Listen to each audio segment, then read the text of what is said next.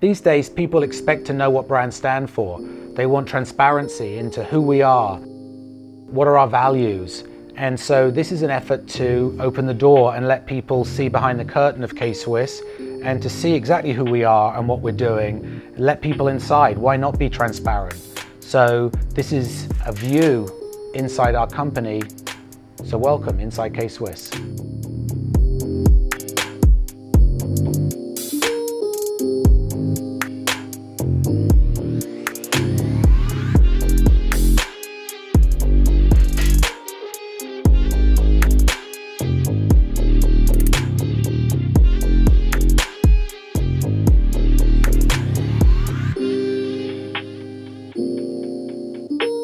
K-Swiss is a 50-year-old sneaker company, one of the big legacy sneaker brands, best known for the K-Swiss Classic. We're in the middle of a significant brand turnaround to bring K-Swiss back to prominence.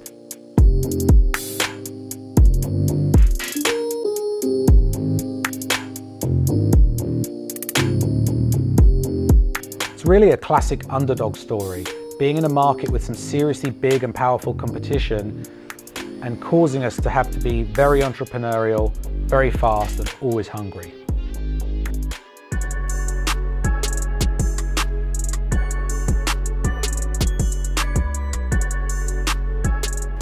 Hello? Hey, it's Gary Vaynerchuk. I'm here with Barney, president of K-Swiss. No way. I'm not joking, bro.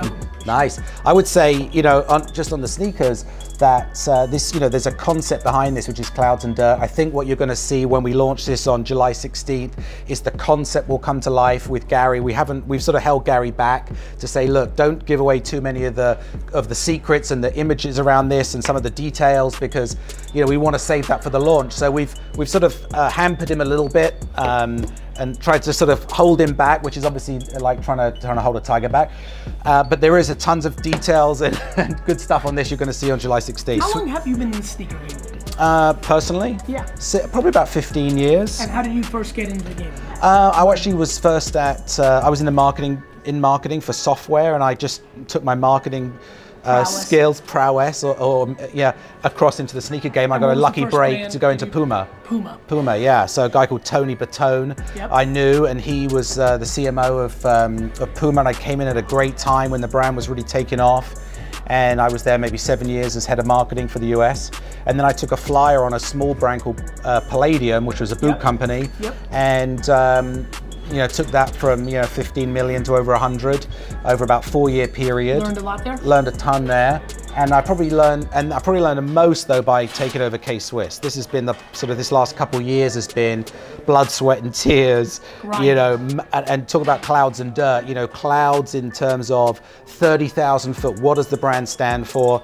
And dirt in terms of like carrying a shoe bag around, selling shoes, pricing details. You know, really you know, micro, macro in tune, it has to be the solution. But you know, where this came from was really about saying we have to find new ground for K-Swiss, not the old traditional route of limited editions or uh, athletes or rappers. You know, how do we find something we can win at? And that's when we sort of came up with this idea of entrepreneurship is the new aspiration of youth culture. And so that's, that's where we that's where we went, Andy, and here we are. Thank you, Gary. As always, I appreciate it. So as we continue this journey, we invite you to come along with us.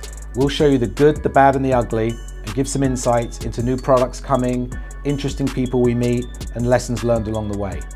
Join us again next week as we go treasure hunting to find an archive of vintage K-Swiss models from the 80s and 90s recently discovered in the upper racks of our warehouse. So stay tuned.